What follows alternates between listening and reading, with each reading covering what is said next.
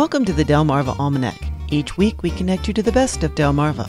I'm your host, Dana Kester McCabe. Lori Conner is a self taught muralist and art teacher with a studio in Milford, Delaware, a town with a vibrant and growing cultural scene.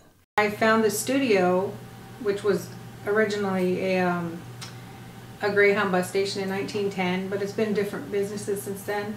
So I was walking by and I saw it for lease, so I just, my mind started thinking, you know, this could be something more.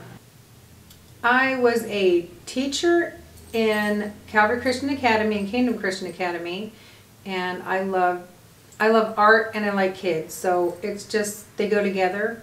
And I, I love all ages to teach, but I you know in the schools it's from like K four to high school, and um, when I was done with that, I just I would just do my art. But then now that all these paint nights have come out, I said, well that's perfect. I love to paint, and I have my art studio, so I'm going to start doing that too because you know, and it's nice because I don't have to grade anybody anymore. There's that stress is gone.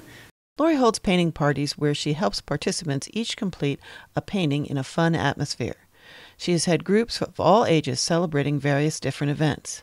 She also has held parties for special groups like one for breast cancer survivors. The paintings they do tell stories of hope and joy.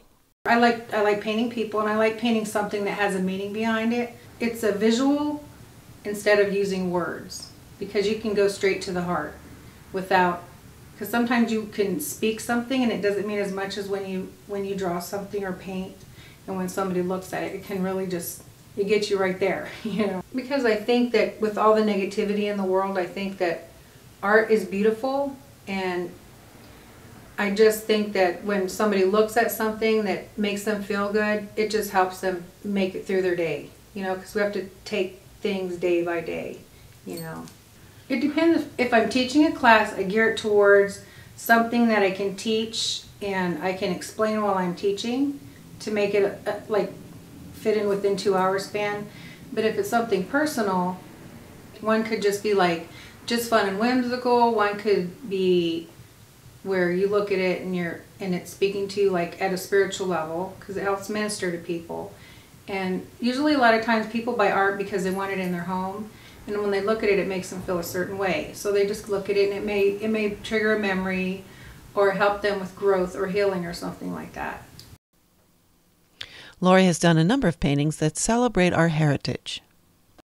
Well, we were doing an event at church and we needed some African American History Month um, paintings.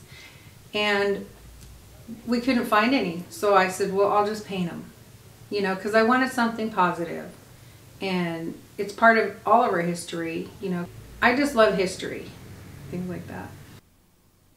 Lori's biggest project right now is on a mural project in Milford, along with two other local artists, Gilbert Rodriguez and Demarcus Shelbourne.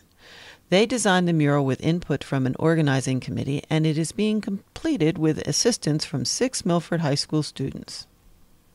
And the biggest thing we're doing is the mural project. We are Milford Mural Project, tongue twister.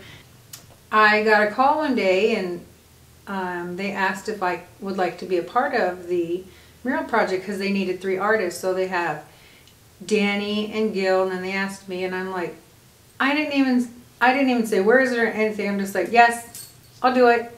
And um, it's going to be on the side of arenas, and it's it's 12 by 24 feet and it's in nine it's in like nine panels so we have never seen it laid out, out at once so that's the biggest thing And that's April 10th and then they asked me and I'm like I didn't even I didn't even say where is there anything I'm just like yes I'll do it and I just you know from there from then on we've just been painting and working and doing our collage and I'm just really excited that's like it's like waiting for Christmas April 10th, you know. the panels were are three of us artists and it's a it's a collaboration of the local like the clock downtown and the the kiosk and the river and the library and things like that. And the things that they do downtown because they have the um, the Bug and Bud Festival and Eat in the Street. You know, they have the ballet dancers and then like different people dancing. So just cool. Which one are you going to work on? the ballet dancer. I like it because I'm all about bringing people together I don't think that there's so many there's so much on the news that causes division and even though it's a diversity mural we're, we're it's more of a unity mural so that it's like you're going to see different shades of hands and different flags and no one's left out it's like it's just it's for everybody to enjoy you know it's just it's really beautiful the we are milford mural will be unveiled at a special event sunday april 10th 3 p.m. to 5 p.m. at Arenas, Milford's only restaurant with an outdoor eating area overlooking the river. Find out more about Lori Conner and many other cultural events on our website, delmarvaalmanac.com slash arts. Well, that's all for this edition of the Delmarva Almanac. Be sure to follow us on Facebook or Twitter, and next week join us to learn more about our local culture and get connected to our natural wonders. If you'd like to become an underwriter for this program, visit delmarvaalmanac.com slash support.